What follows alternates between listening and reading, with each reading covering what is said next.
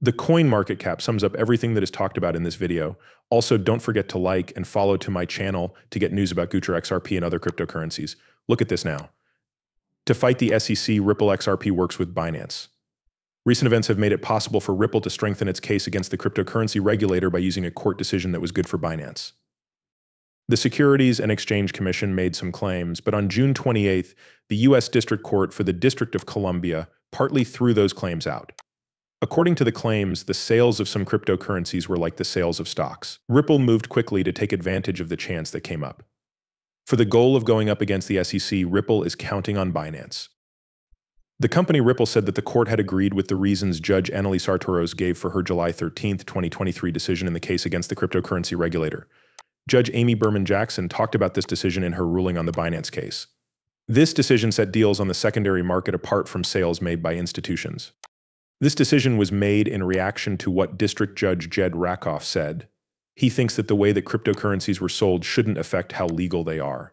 However, the court said that the SEC's plan to control the cryptocurrency business through lawsuits was flawed because it didn't give enough information to those involved. A prize of 20 euros for signing up for Bitvo through this link. Perhaps the SEC is being too harsh on Ripple because it is an affiliate plan.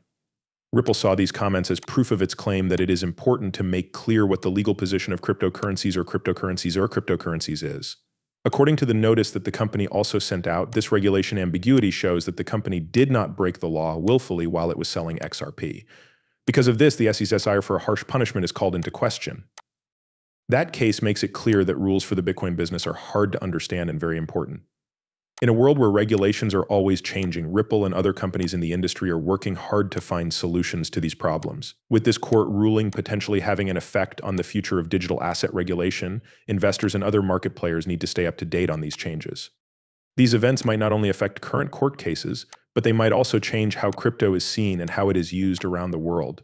Coinbase and Ripple Labs are trying to make their cases stronger with the US Securities and Exchange Commission. They are pointing out a recent order that gave Binance a win when it comes to how secondary sales of cryptocurrency are set up. Each of Coinbase and Ripple has said several times in the last few days that the documents they have filed in their cases are not clear enough about how to regulate cryptocurrencies. This is what Coinbase said in a court document on Tuesday.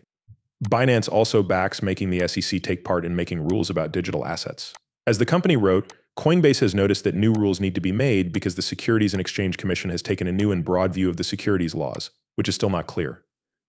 The SEC has never made this point of view clear, but it is trying to force it on the digital asset market by taking a scorched earth method.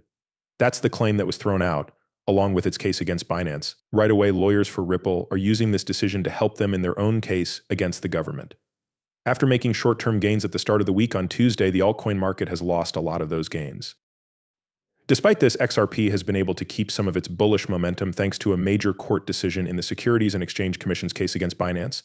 Ripple has now used this decision in its current battle with the regulator. One reason for this being the case is this. Michael Kellogg, Ripple's lawyer, wrote a letter to Judge Analisa Torres in which he said that Binance's recent decision supports Ripple's claim that its illegal sales of XRP do not deserve harsh punishments, as the SEC says. Last week, Securities and Exchange Commission Bill Kochen said that transactions on the secondary market were the same as transactions on the primary market. Judge Amy Berman Jackson said that those claims were false. By firing her, the Securities and Exchange Commission was criticized for its choice to watch over this billion dollar business through lawsuits, which was seen as inefficient and left the right people without clear direction. Ripple said that the most important part of the court's summary judgment order was making it clear that the different types of XRP sales were allowed.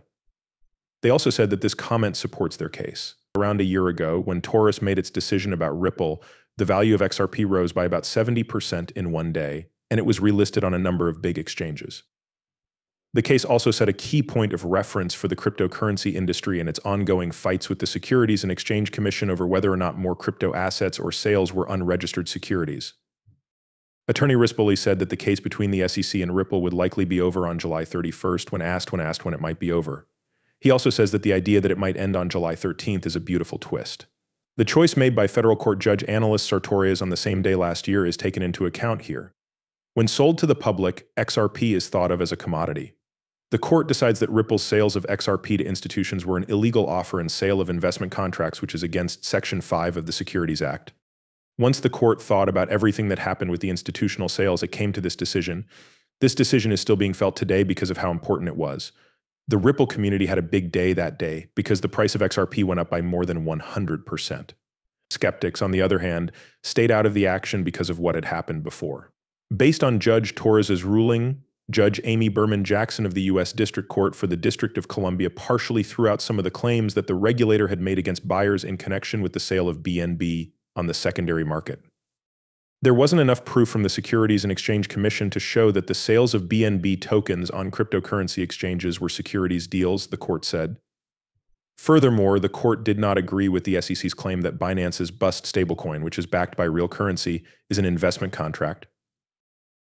There were some claims made by the SEC that were turned down by the court, but the judge did let some claims go forward at this point. A part of Binance's press statement said, however, we expect that the SEC will have a very hard time proving these claims.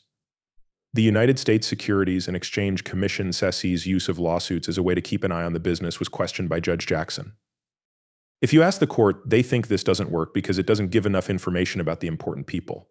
Please be aware that the information given is not meant to be taken as business advice. Any purchases made based on the information on this page are not the responsibility of the people who made them.